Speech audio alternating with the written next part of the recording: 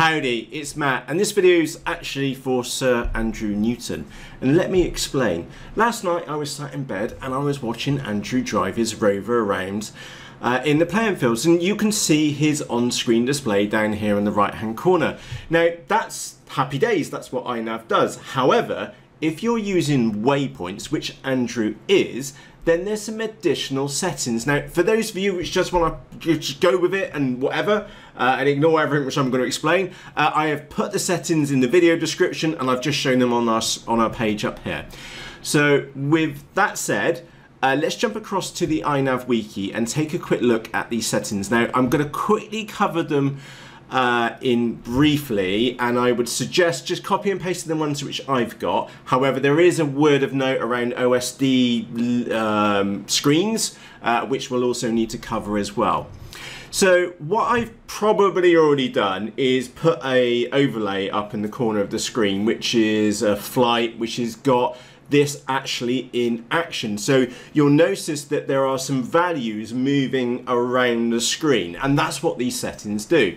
Now there's two different types of settings. There's one for your home marker and you'll see a H and then a value going around and I probably cut to a clip from someone else's video and you'll see that value going down as they reach home and then it'll go there, go home and it disappears and then when they leave home then home's then behind them and then that number increases. So that's the homing icon which is fantastic for you on the goggles to get your orientation of where home is in relation to the model. Uh, and of course, this is above and beyond the normal arrow. you know what I mean, the arrow at the top of the screen uh, and the distance to home at the bottom. This is actually a value which moves around the OSD uh, appropriately. Now, the other one, which I think is super cool, is actually, and I, and I would only suggest showing two waypoints in here, and I'll get to that setting in a moment, which is that imagine you've got a set of waypoints and there's like 18 waypoints in there. Um, and is that when you get to a waypoint, you I like, and I'm sure Andrew might like, to know where the next waypoint is. Uh, and that's what it will show on the screen. You can show up to three different waypoints on there, but to be honest, it's a bit too much with the home marker as well. Uh, so I only have set mine to two. So I you maybe you've got to the first one, and then you're on your way to the second one. Not only can you see the second one and the distance to it, which is probably in front of us at the top, um, but then you can see where number three is. So maybe number three is off to our right somewhere. You can then see, okay, I'm going to go to number two, and then I'm going to go to number three. And of course, when you get to number two, it then jumps to number three, and then you can see number four, and so on and so forth. Does that make sense?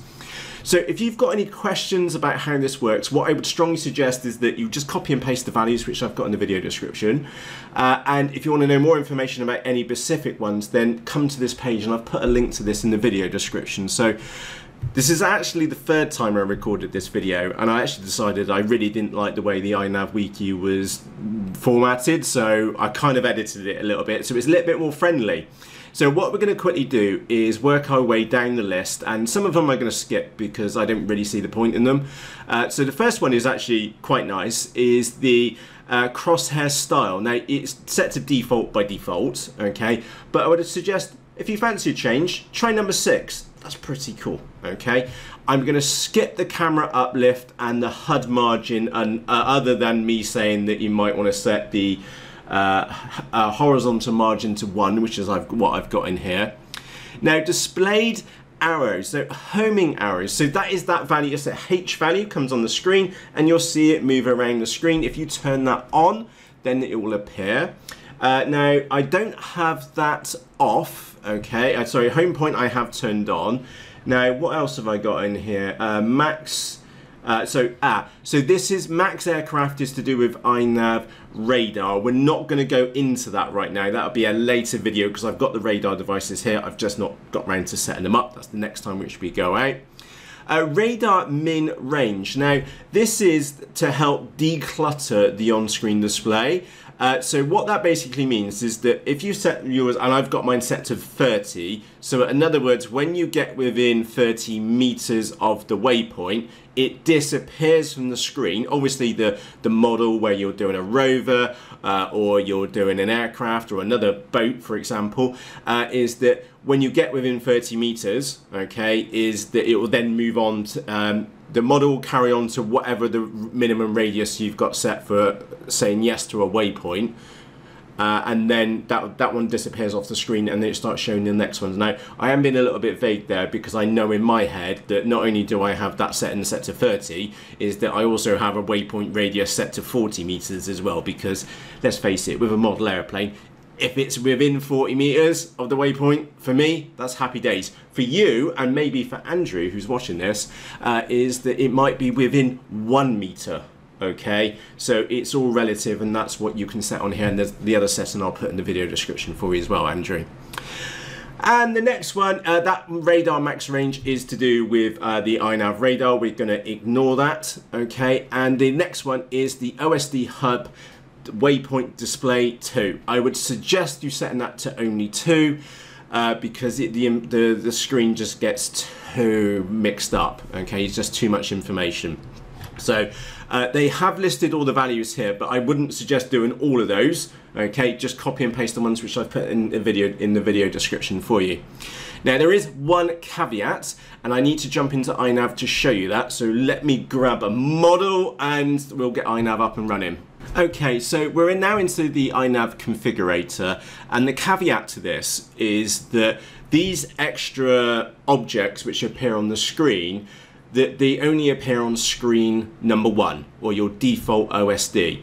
So you'll see here is my default uh, screen for the Dart 250G and you'll notice that I've shunted as much as I can up to the top and as much as I can down to the bottom. And the reason for that is that these values move around the screen appropriately, okay? So if you imagine like with iNav radar where you can do the, the other models being transmitted, that would move around there. The same for the waypoints as you move around, that they their position changes to the attitude of the model, whether it's an aircraft, rover, boat, etc. Okay, so that's point number one. You want to move on, on your default layout, and I'll explain what that is in a moment. You want to put everything to the top, and to the bottom as you can see on here and by the way what I will do for you is that I will copy up do a dump out of my uh, Dart 250G and you can literally just copy and paste those values and it will get you pretty close okay uh, so that's your default layout so that in mind, okay, you may want to set up an alternative layout. So you'll notice that I'm using this drop down box up here in the top left hand corner. So I've got default layout, and remember that's the one where these settings play on top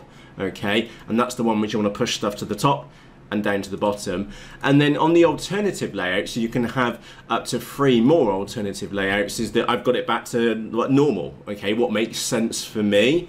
Uh, so with that in mind, you may also be wondering, well, Matt, how can I switch these OSD layouts? It's great that I've got four of them, but how do I switch them? And the answer to that is modes. So if we go into the modes tab and then scroll right down to the bottom, you'll see OSD Alt 1, OSD Alt 2, and OSD Alt 3. And you'll see, in my case, I've got a three-way switch and I'm able to click between uh, off, as the case may be down here, so that's the default view. Then when I do the middle switch, then it will jump here and I've got OSD Alt in the middle one. And then, of course, at the end, uh, is well, it also jumped to OSD 2, which is the second one down in the list. So if I go back to the OSD. That'll make more sense in the moment. So I've got a three-way switch. At the moment it's off, it's furthest away from me. Then I'll click it to the middle and we'll jump to that screen and then we'll click jump to that one. And then I've got a much cleaner version uh, for when I'm flying around. Of course, system message doesn't display by default unless there's a system message which you need, iNavs needs to tell you. So that is the caveat. You, your first default view, you want to shunt everything up to the top everything to the bottom. Okay, so Andrew, I hope that helps you. It's really nice watching the, the where you are in relation to the different waypoints. I think that's pretty cool. Uh, the one setting which you might want to change from mine, which is the OSD HUD radar range minimum. Okay, uh, so that would be the, the minimum distance for it to uh, show on the screen. Okay, so if you're doing something quite compact, you might want to reduce that value. Uh, so maybe you would draw a pair of boobies like some of us might do uh, using um, a, a, mission, for example, is that if those points are really close to each other within 30 meters, then they won't actually show. So you might want to drop that value down to five meters, for example. So Andrew, I hope this video helps you. And of course, if your name's not Andrew or Sir Andrew of Newton, uh, then literally, uh, you're, if you're using iNav uh, and you're using Waypoint missions, and by the way, I've got a missions uh, video completely map proof. I'll put a link to it in the video description and in the top right hand corner as well.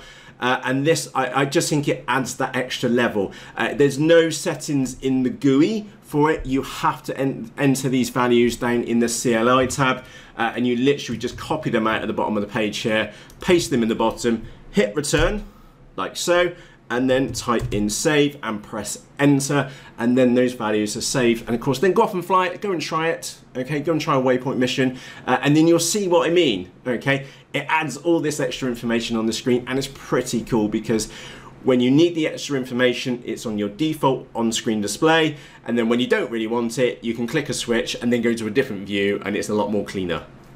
Make sense? Happy days. So with that said, I sincerely hope this video has been and helped you. Uh, by the way, if you're new here, my name's Matt. Howdy, welcome aboard. Don't forget to press the red subscribe button and of course press the bell notification because the next video out could be on also on iNav. We could be doing a mission or maybe just smashing the model up.